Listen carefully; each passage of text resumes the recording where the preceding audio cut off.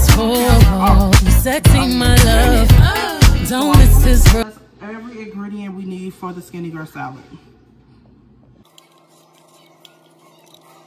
It is all cut up. This is the first step. And then I'm going to do the onion next. I don't know, I just put it all in one bowl, but everything is not going to be eaten right now. It's going to be in small, smaller portions. So this is how the girl did it. I'm just going to basically tell you how I like it, pros and cons about it. Skinny girl salad, what's up?